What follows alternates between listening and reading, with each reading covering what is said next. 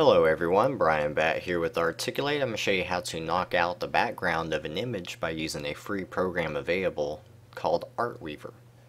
Now to start out, we've got the image loaded up here. We want to go over to our layers section and we want to select this arrow and choose duplicate layer. Now that we've got that selected, uh, we want to hide that background go over here to our magic wand tool and we've got a tolerance of 20 and that's fine at the moment. Uh, uncheck anti-alias and checkmark contiguous. Now we're just going to left click a section that we want to get rid of and then select delete on our keyboard. As you can see that has deleted it. And we're gonna go over here and select and press delete again and go down here and as you can see in this selection, we do have extra gray matter that has been selected. So we want to deselect that by pressing Control D, go up here, change our tolerance to 10, reselect, and looks like we're good on the gray matter. Hit delete, go down here, hit delete again. Got a small section we're going to get rid of here. And since this is a gradient, we probably want to increase our tolerance to about 25.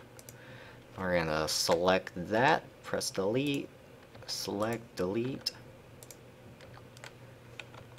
Okay, so right now we've got a pretty good selection, but let's see how we've done. We're going to create a new layer. We're going to go over here to our paint bucket tool, make sure black is selected, and we're going to drop that. And we're going to move our layer back on top. And as you can see, we've got some white uh, area around the object and we'll get rid of that later. Uh, what we want to concentrate on is this other sections that we missed. So what we're going to do, we're going to zoom in on those sections. Grab our select tool, drag and select some area, press delete on our keyboard. And we'll just continue doing that. We'll zoom up some more here.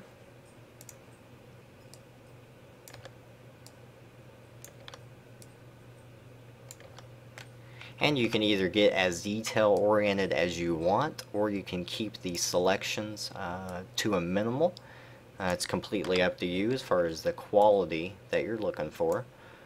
Uh, so we're going to go up here and select again. Zoom out. And right now we've got a pretty good selection but let's make it even better.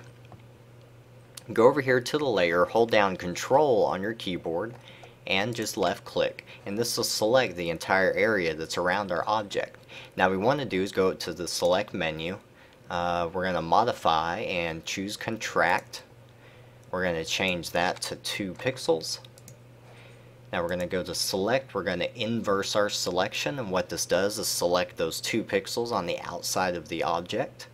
Now what we're going to do is select feather change that to 3 now the reason why we're going to feather is because if we just hit the delete button, it's going to make for a real jagged uh, delete.